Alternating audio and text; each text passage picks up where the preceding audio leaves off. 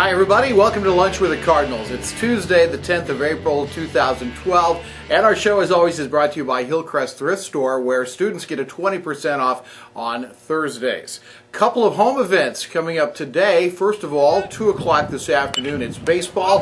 Then at 3 o'clock at Clayview Country Club, it will be women's tennis. Let's talk about the baseball first. Mike Stockton and the Cardinals will go out of conference today, play a doubleheader against St. Mary's and they will be at home starting, as we said, at 2 o'clock. Here's Coach Stockton with a look at today's doubleheader. It's going to be nice to play a midweek game because we certainly have a bad taste in our mouth from this last weekend.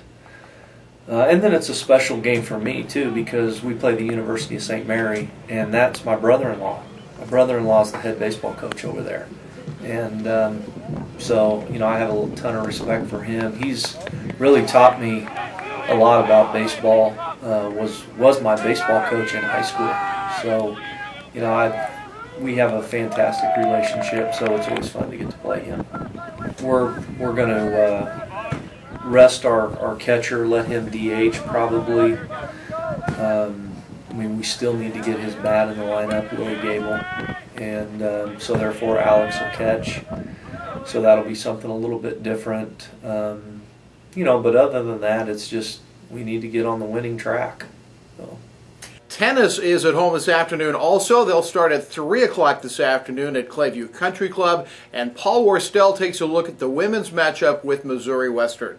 On Tuesday, we play Missouri Western State University. It's a chance for us to play one of our regional opponents here. That's, that's Division Two, part of the MIAA. Uh, we have we have kind of created a little bit of a, a match with them every year. Um, they just have a women's program, and so we, we try to play their women's team each year. Um, tomorrow's going to be a special day for us because we'll be honoring our, our one and only senior of, of this coming season, uh, Carolyn Klenda, who's from Salina, Kansas. She's put in an outstanding four years for us. And so we're looking forward to honoring her for our last home match tomorrow at Clayview starting at 3 o'clock. So baseball starts at 2 o'clock this afternoon at Fred Fluke Field, and at Clayview Country Club, it's women's tennis against Missouri Western. Tomorrow's softball is at home. It's a 2 o'clock start against Newman University, and we'll broadcast both ends of the doubleheader starting at 1.40 tomorrow.